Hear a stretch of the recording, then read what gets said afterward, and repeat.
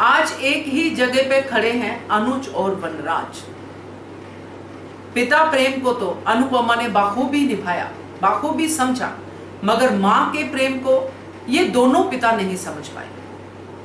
नमस्कार, स्वागत है आपका आपके अपने चैनल हंगरी स्पिरिट्स में। हंगरी स्पिरिट्स देख रहे सारे दर्शकों का मैं अंजू शर्मा दिल से स्वागत करती हूँ। बड़ा अफसोस, मगर सच। आज अनुज भी अनुपमा को दोषी ठहरा रहा है। और ये कह रहा है कि तुम वजह हो। मैं भी हूँ, तुम हो मगर। और एक बार भी नहीं ये सोच रहा कि आध्या की मौत को लेके अगर मैं पागल हो सकता हूँ तो अनुपमा पे क्या बीत रही होगी?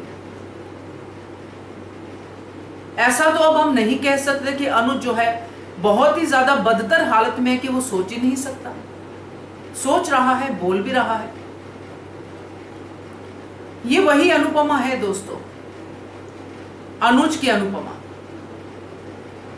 जिसने आध्या को अनुज के साथ मिलकर एडॉप्ट किया। आध्या की परवरिश की। आध्या से इतना प्यार हुआ उसका कि आज वो सोच पा रही है कि आद्या ज़िंदा है, मगर एक पिता नहीं। पिता को बस एक खबर मिली तो आद्या मर गई। वर्नाशा भी है यहाँ पे। वर्नाशा के साथ भी अनुपमा खड़ी थी। जब इतना बड़ा नुकसान हुआ था। समर का नुकसान। तो ये दोनों पिता आज एक ही जगह पे खड़े हैं, मगर माँ का दर्द कोई नहीं समझ रहा। बात करते हैं डिटेल में पहले वही निवेदन जिन्होंने अभी तक चैनल को सब्सक्राइब नहीं किया है, कर लीजिए। साथ में दोस्तों बेल आइकॉन दबाइएगा ताकि आपको हमारे वीडियोस के नोटिफिकेशन मिलते रहे। आज अनुज जिस दर्द में दिख रहा है अपनी आध्या के लिए क्या वो एक बार भी ये सोच पा रहा है कि अनुपमा किस दर्द में होगी? मगर अनुपमा सोच पा रही है कि ये पिता बहुत दर्द में है और मुझे इसकी बेटी को इससे मिलवाना है क्योंकि मुझे पता है कि आद्या ज़िंदा वो अपनी तहकीकात कर रही है। ऐसा ही कुछ समय वनराज शाह पे भी आया था। जब समर की मौत हुई थी, तब भी अनुपमा वनराज शाह के साथ साथ उनके आँसू पहुँचती हुई दिखाई दी थी, क्योंकि उसको वहाँ भी पिता का दर्द समझ में आता था। उसको पता था कि एक औलाद को खोना दोनों के लिए बहुत ही बड़ी बात है।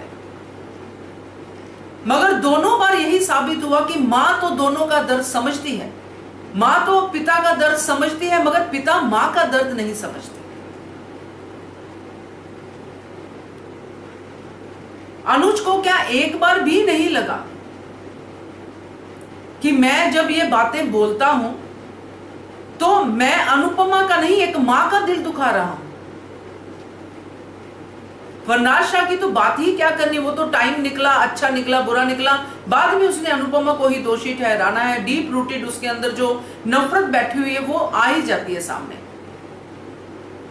समर के टाइम पे उसने पूरा टाइम निकाला। वहाँ पे भी अनुपमा ढाल बन के खड़ी रही अनुज के सामने, जब समर के लिए वरनाज शाह अनुज को दोषी ठहरा रहा था।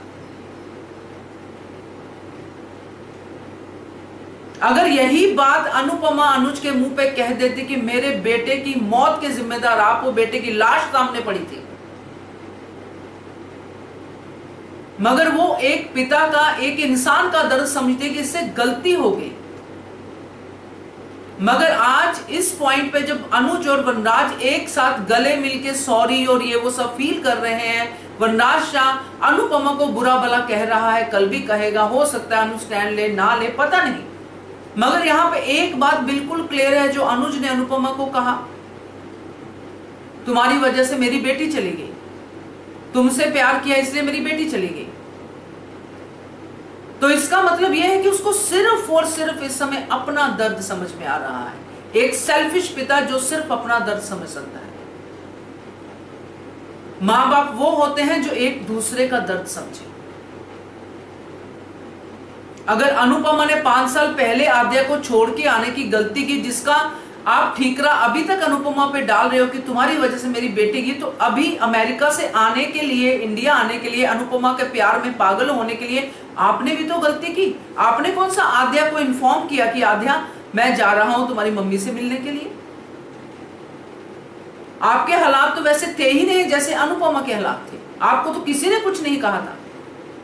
मगर आपका स्वार्थ था वहाँ पे कि मुझे मेरा प्यार मिल रहा है। बेटी गई भाड़ में, ये था आपका। जब बेटी वाकई भाड़ में चलेगी तो उसका आप ठीकरा अनुपमा पे डाल रही है। वाह वाह वाह, क्या इंसाफ। आगे क्या होता है, क्या नहीं होता है, वो मुझे नहीं पता। और मुझे जानना भी नहीं है, क्योंकि अभी जो हुआ है, इस एपिसोड में जो हुआ है, एक माँ वहाँ पे रो रही है, पहले समर की मौत पे रोई।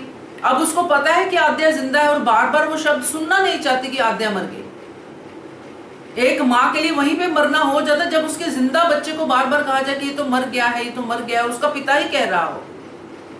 मगर फिर भी वो माँ पिता का दर्द समझेगी, उसको उसकी बेटी से मिलवाएगी। मगर ना तो अनुपमा यानी कि माँ का दर्द अनुज ने पहले समझा, पहले भी मेरी बेटी कहा, अभी भी उसको यही है कि ये मेरी ही बेटी है, दर्द भी मेरा ही है। ये अनुपमा कौन होती है? अनुपमा ने तो मरवाया है उसको। अनुपमा तो जिम्मेदार है। तो यहाँ पे दोनों में कोई फ़र्क नहीं है दोस्तों। वहाँ पे भी वनराज शाह समर की डेथ के लिए अनुपमा को यह कहता, फिरता था कि तुम्हारे आशिक की वजह से। तो ये सब चीज़ें शायद यही कई कई लोग ऐसे ही किस्मत लिखवा के आते हैं। धारावाहिक है तो हम धारावाहिक के तरीके से देख रहे हैं, मगर होता कुछ ऐसा ही है कई लोगों के साथ दोस्तों।